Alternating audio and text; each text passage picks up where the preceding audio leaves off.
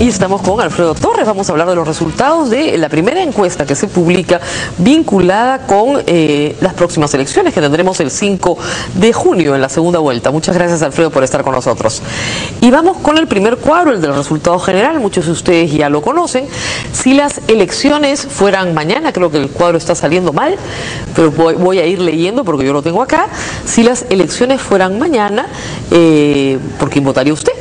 42% votaría por Ollanta Humala, 36% por Keiko Fujimori, blanco y viciado 12, no precisa 10.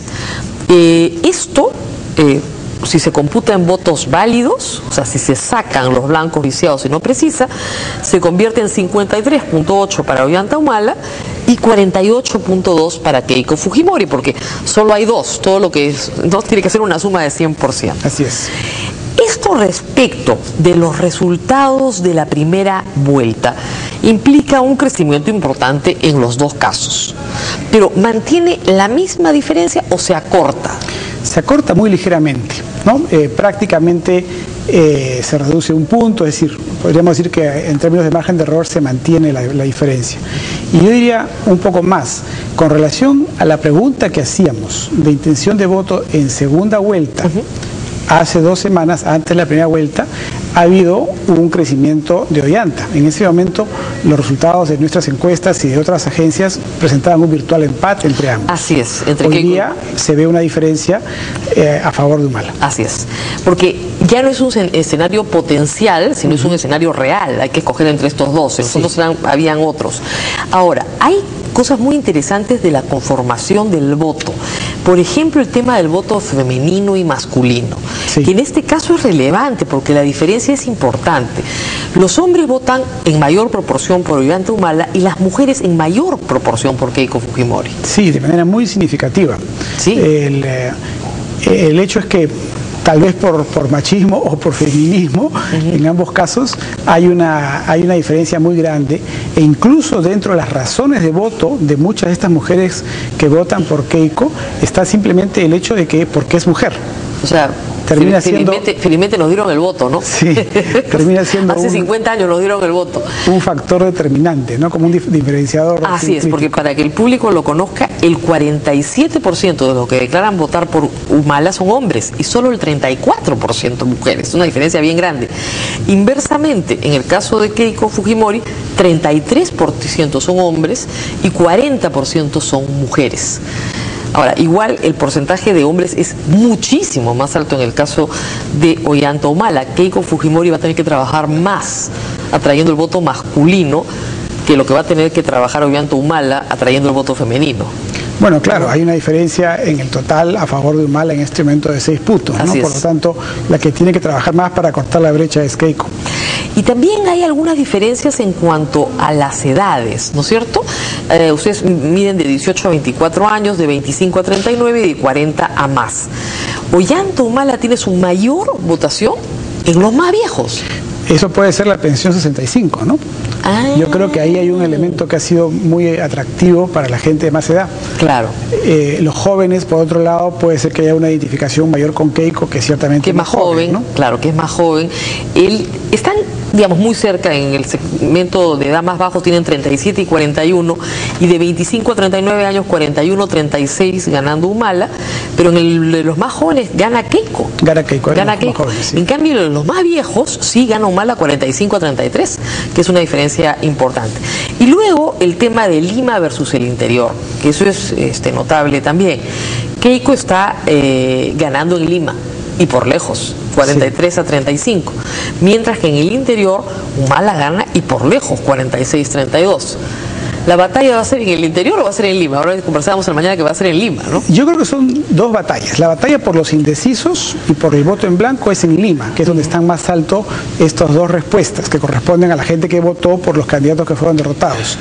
En provincias la batalla es más compleja, porque es quitarse votos el uno al otro. Sí, porque está más definido. Ahí la cosa está mucho más definida, hay mucho menos indecisos y eh, lo que tendría que hacer eh, Keiko para ganar en esos sectores, eh, fuera, digamos, fuera de la capital, es convencer a los humanistas que cambien su opinión.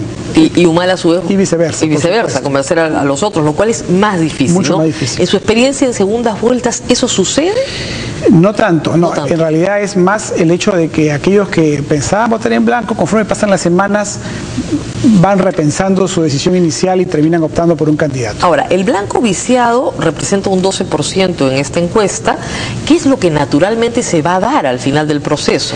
En la última elección, en la de García contra Humala en el 2006, el, voto blanco y viciado sumó 8,5%, ¿no? o sea, un poco menos que ahora.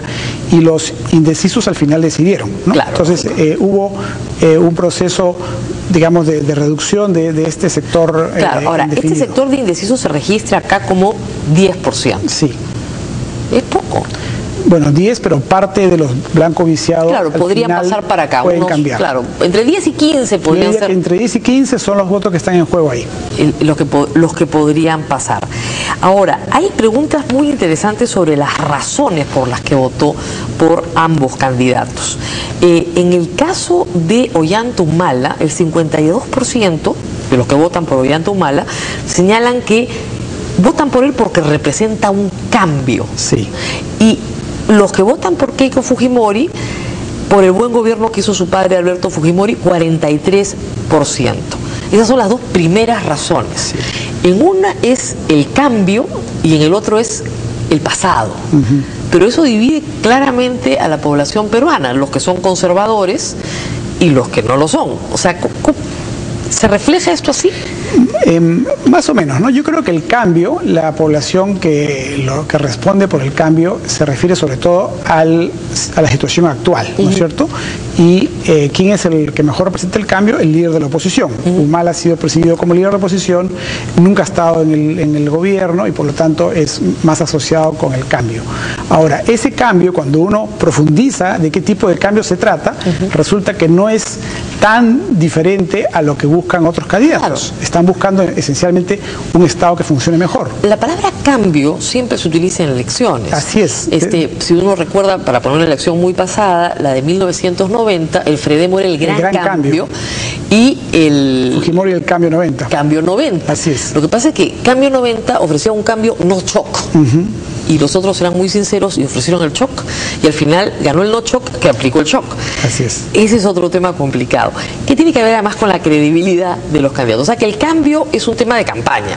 Es un tema de, campaña y es una, digamos, sí, porque la población en realidad tiene siempre esa necesidad, sobre todo si su situación económica y social no es de las mejores, a buscar algo diferente. Claro, pero hay, hay un sector de la población al cual el cambio le da pavor. Sí, también, por supuesto. Entonces, hay que manejar bien los dos mensajes, complicado para los estrategas. volviendo a, una campaña anterior, García lo manejó bien en la campaña del 2006 con el cambio responsable. El cambio responsable. ¿No? Así es, no cualquier cambio, el cambio responsable. Siempre un cambio, pero responsable. En el tema de la campaña en contra de candidatos, eh, esta, esta, es una muy buena pregunta porque se le pregunta a la gente lo que cree que van a hacer al margen de lo que dicen, al margen del discurso de los candidatos. ¿Usted cree que Ollantumala se sumará al bloque de Hugo Chávez y Evo Morales? Sí cree 47%. O sea, la gente lo asocia con Chávez, Evo Morales, eso. Uh -huh. estatizará las empresas privadas, sí cree 46%. Sí. Son los dos temas que en este momento afectan más a Humala de los que hemos medido. De repente hay, más más adelante. Pero... Se quedará en el poder más de cinco años, 39% sí cree. Cerrar el Congreso, ahí ha bajado mucho, ¿no? Sí cree 25%. Sí, eso no tiene mayor credibilidad en este momento. En este momento. En cambio, que se va a sumar con Hugo Chávez Morales, sí. En el caso de Keiko, ahí se una respuesta que salta, ¿no? Keiko Fujimori liberará a su padre, Alberto Fujimori, sí cree 68%. O sea, por más que ella jure por Dios, el 68% está seguro de que lo va a sacar de la cárcel. Claro, es que yo creo que a diferencia de los otros temas, donde los que creen lo malo son los contrarios, en este caso los que creen que ella debe liberar a su padre suman los fujimoristas que esperan que lo haga y los contrarios a ella que quisieran que no lo haga, pero piensan que igual lo va a hacer. ¿no? Entonces la cifra es muy elevada y, y por lo tanto es muy difícil para ella tratar de persuadir al electorado de que no lo va a hacer. ¿no? Ahora, ¿Qué tan importante es mentir en una campaña? Esa es una gran pregunta, ¿no? Porque acuérdense, no shock, no shock, y fue shock el cambio responsable, no hubo ningún cambio. ¿Qué tanto pesa en el ánimo de un elector descubrir que le están mintiendo o saber que le están mintiendo, pero qué es lo que quiere escuchar finalmente? Claro, yo creo que al final lo que la gente busca en el candidato es una persona que siente que se va a preocupar por por uno, ¿no es cierto? Y que si para preocuparse por uno en la campaña tiene que decir una que otra mentira, eso no es tan importante si es que el tema de fondo es que sigue siendo alguien que va a defender mis intereses, ¿no? En el sentido de la mayor parte de la población que corresponde a los sectores populares, por eso hay tanto reclamo porque ayuda a los pobres, los programas de lucha contra la pobreza, etcétera. Vamos a ir a los temas que reclama la gente, pero tenemos que hacer una pausa, volvemos.